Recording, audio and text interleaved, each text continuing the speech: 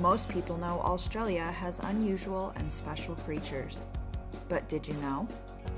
The kangaroo's kick has 759 pounds of force. The kookaburra bird mates for life. Koalas can sleep or rest up to 18 to 20 hours a day. The male platypus has venomous spurs on its hind legs.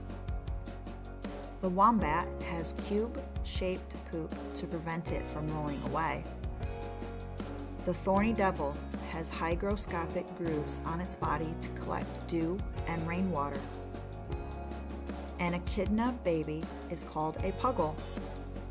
The numbat anteater eats up to 20,000 termites a day.